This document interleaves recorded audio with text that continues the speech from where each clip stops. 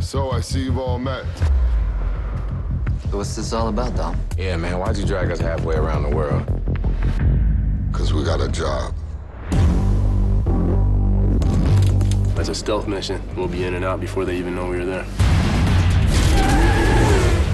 We're talking about breaking into a police station. This is crazy. This is a hundred million dollars. You say what? I am down. Is all of this really necessary to apprehend two men?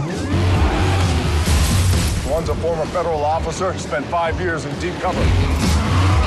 The other one's a professional criminal, escaped prison twice. We find them, we take them as a team, and we bring them back. And above all else, we don't ever, ever let them get into cars. We just went from the middle of the most wanted list to the very top. You gotta keep running now. Running ain't freedom. You're going down, Toretto. Big mistake.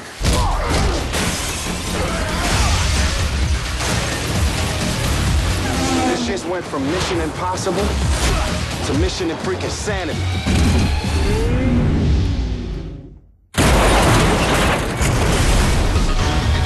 Doesn't change a thing.